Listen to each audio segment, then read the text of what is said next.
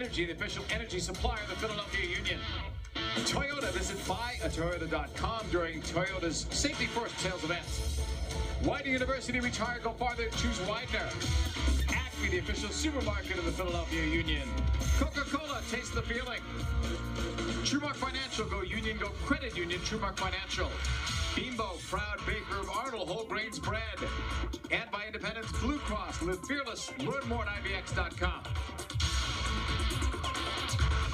Back here at Talen Energy Stadium, Chris Pontius chatting with the Sons of Ben as they fall in the regular season finale 2 0 to the New York Red Bulls. But again, the huge storyline the Union are going to the playoffs for the first time since 2011. It will be a three versus six matchup. The Union is the six. They will travel to Toronto FC. At this point, we do not know whether the Union will play on Wednesday or Thursday. Stay tuned to PhiladelphiaUnion.com tonight. Here's the Eastern Conference standings as the Union are in sixth. New York Red Bulls with the win solidify first. So the Red Bulls and New York City FC will be the two teams that have a bye. And now for the playoff matchups, Toronto FC against the Union, the 4-5 DC United against the Montreal Impact. Again, the Red Bulls and New York City FC will have bye. Keep in mind, if the Union win at Toronto, they can and will host a home playoff game. And now for their thoughts on these playoffs, let's go to JP Dellacamera and Tommy Smyth.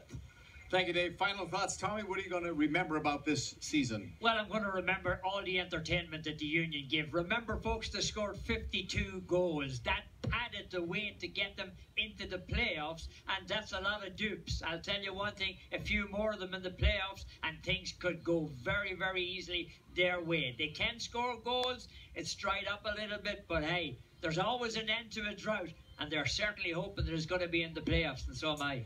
Final thoughts for me, Tommy. The Union have had goalkeeping issues for the last few years, you could say. Andre Blake has solidified that position. He had a fantastic year. He was an all star. Kudos to the front office staff for the drafting of three players that ended up playing, starting a large amount of games during the season. And Rosenberry is definitely a candidate for Rookie of the Year in the league. And finally, Chris Pontius, to me, comeback player of the year, a career year for Pontius. They kept him healthy all season, and he put up 12 goals and had six assists as well. So those are our final thoughts. Let's get some final thoughts from Marissa.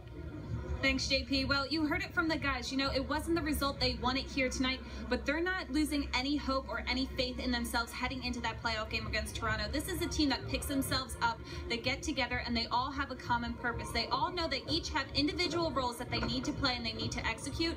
And by far, this is the closest team the Union has ever had in franchise history, meaning these guys get along. They spend time with each other outside of just playing soccer, and that pays dividends when it comes to what happens on the field. So although they might be a little disappointed tonight, I don't think they're going to be worried come Wednesday or Thursday when they have to take on Toronto FC, Dave.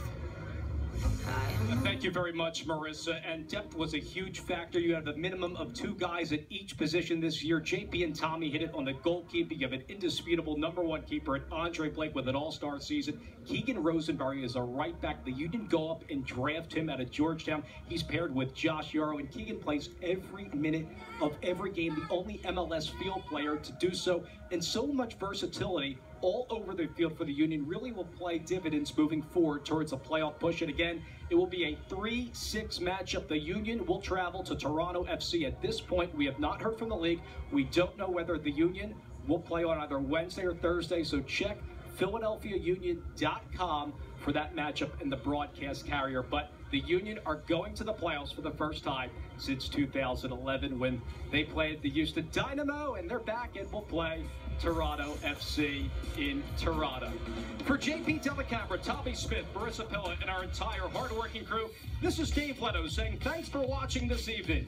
Union Soccer is produced by Dave Getz, directed by Nick Marquetta, and our associate producer is Carl Graber.